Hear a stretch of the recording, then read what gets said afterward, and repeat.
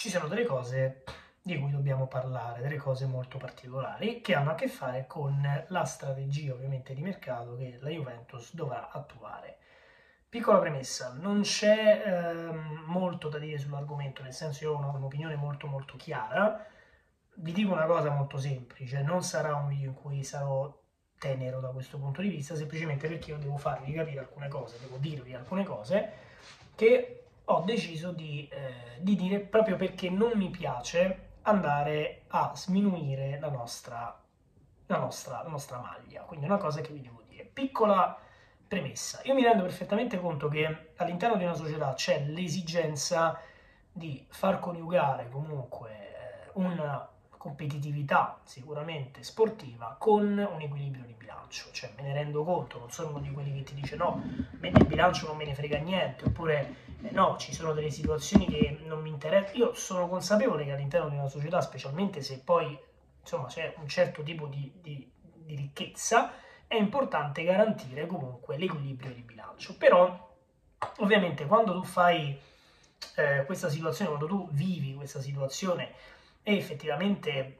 eh, guardi la tua squadra, io penso che tutti noi dobbiamo capire che si è arrivati ad un punto adesso in cui tu non puoi andare indietro, ok? E perché non puoi andare indietro? Perché altrimenti perdi tutto quello che tu hai fatto. Vi spiego un po' eh, la situazione. Allora, mi spiego un po', um, un po' perché è un po' particolare come un po' particolare, un po' di litigi ci sono stati ultimamente facciamo un po' di cose. Prima ovviamente di iniziare, come al solito ragazzi, io volevo invitarvi ad iscrivervi sempre al canale, ovviamente mettere like al video, attivare la solita campanellina delle notifiche, ovviamente tutti i giorni ragazzi nuovi video sulla Juve, tutti i giorni nuovi contenuti, quindi insomma tutti i giorni nuovi, nuovi contenuti, nuovi, nuovi video. Se vi va, insomma, iscrivetevi al canale, mettete ovviamente like al video e attivate la solita campanellina delle notifiche per rimanere sempre aggiornati. Vi ricordo, eh, insomma, di, di insomma fate questa cosa, attivate, attivate la campanellina, non fate i tifosi dell'Inter perché se no non vi arrivano le notifiche. Oltre a tutto questo trovate OneFootball che è l'app numero uno dedicata al calcio ed è gratis, e trovate anche i miei social, quindi se vi va seguitemi sui social. Allora, alt. Dipende tutto da... Allora, il discorso è, Elkan ha comunicato ai dirigenti della Exor che la strategia di mercato della Juve potrebbe cambiare. Quando io dico potrebbe cambiare, dico che potremmo assistere ad una sorta di, diciamo, di cambiamento, ecco, particolare. È stata una comunicazione ufficiale di John Elkan ai dirigenti Exor che giustamente adesso dovranno farla rispettare i dirigenti sportivi. Cioè la Juve non vuole fare più un mercato, cioè non vuole, vuole continuare a fare mercato normalmente come ha sempre fatto. Vuole continuare a fare mercato in maniera normale, vuole continuare ad investire in maniera normale, ma non vuole investire in grandi nomi, cioè non vuole spendere tanti soldi per i giocatori, cioè ci sarà un tetto di investimento entro il quale probabilmente i dirigenti sportivi dovranno insomma lavorare, quindi oltre quella cifra tu non puoi effettivamente andare a spendere, perché altrimenti la Exor ti dice di no. Ora, ehm, ti parlo in maniera molto molto sincera. Io credo che mh, tu debba capire cosa vuoi dalla vita. Nel senso, se tu mi dici, guarda, io in questo momento della mia società, della mia squadra, della mia Juve, non voglio andare a competere con le grandi.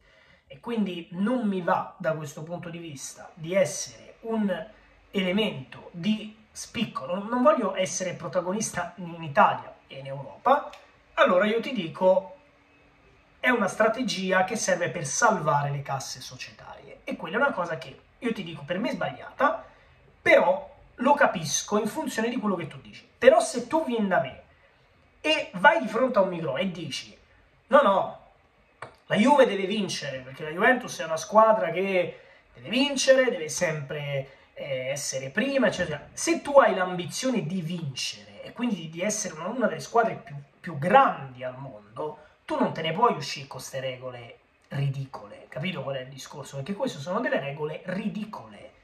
Regole ridicole che potrebbe mettere chiunque, con tutto il rispetto possibile e immaginabile, per chi ha varato questa cosa. Perché?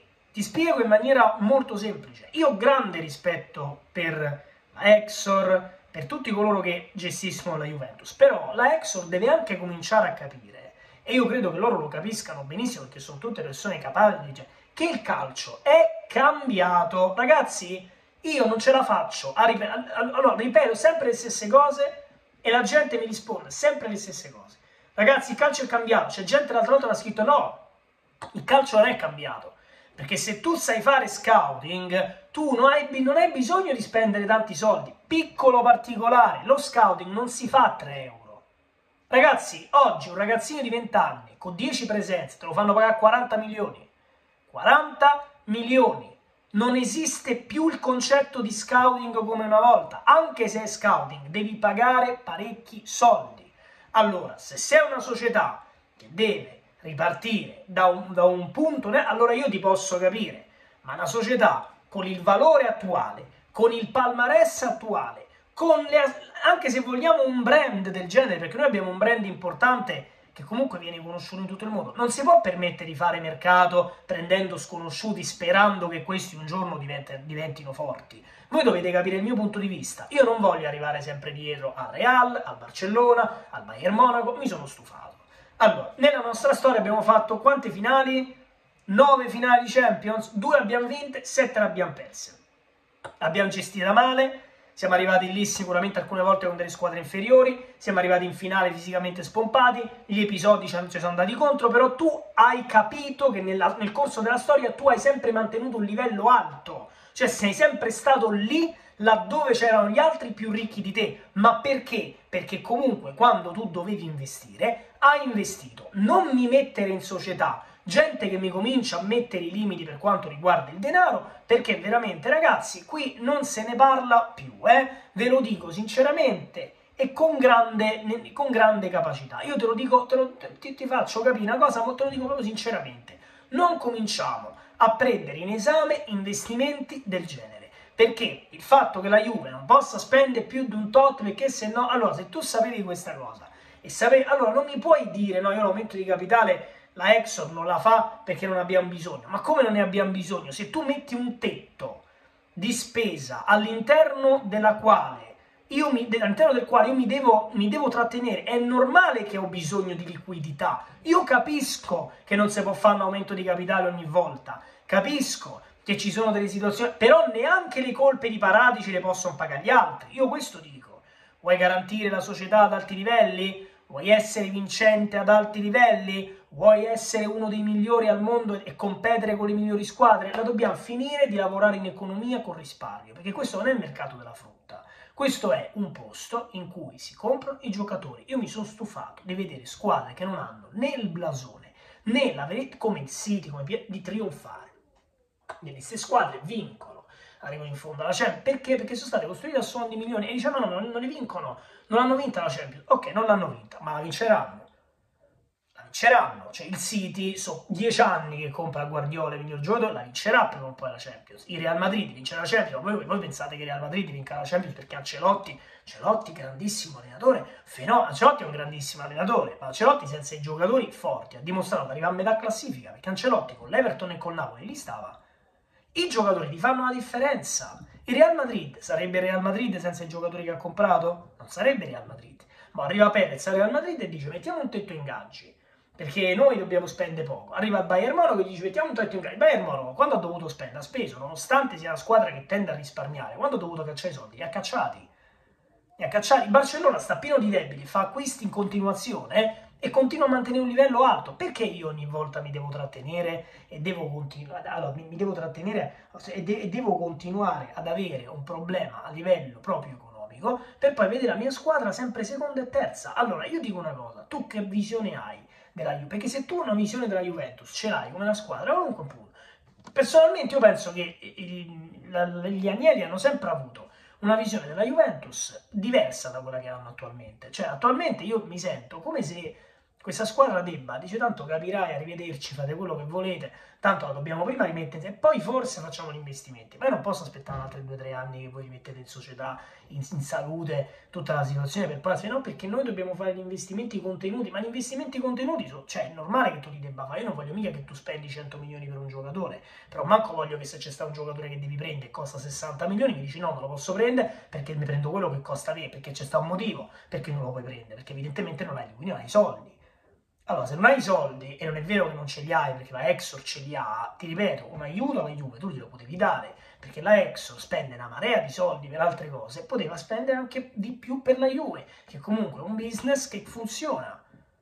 Cioè, se, voi, se tu non mi garantisci un adeguato livello, di, di, un certo livello, è inutile andare sempre ogni volta a fare queste cose, perché io comprendo perfettamente... Allora, no, facciamo un discorso... No, facciamo un discorso eh, un po' più generale. Eh, facciamo un discorso generale. Io, io capisco okay, che gestire una società di calcio oggi sia difficile, va bene, ma al tempo stesso io non ti posso dire, io non ti posso dire sempre e comunque no, perché eh, io perché dobbiamo fare gli investimenti contenuti, perché gli investimenti, perché gli investimenti contenuti, se vuoi giocare a questo livello, non, non, non possono essere fatti.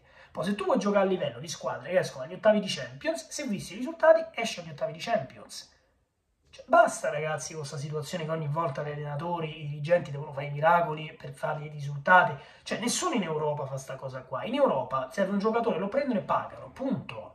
Cioè, io mi sono stufato, sinceramente. La gente dice no, perché tu mettiti da me, ma mi lamento. Ma mi lamento perché continuo a vedere delle cose che non hanno senso. Ma per quale motivo io ogni volta che ho un giocatore di fronte che mi piace mi devo creare il problema del, del City, del Real, del PSG, quando alle spalle c'è una holding da 200 miliardi? Perdonatemi, ma perché ogni volta devo fare questa cosa? Perché noi dobbiamo essere sempre l'ultima ruota del carro?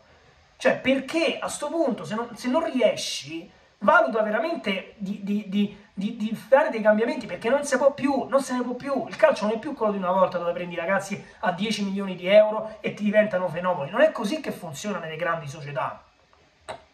Qui non c'è il tempo di andare a prendere gente e aspettare che maturi. Non c'è il tempo per prendere giocatori e aspettare che forse diventino forti. Qua bisogna vincere subito. Subito. Perché questa non è una società che vale poco. Questa è una società che vale tantissimo.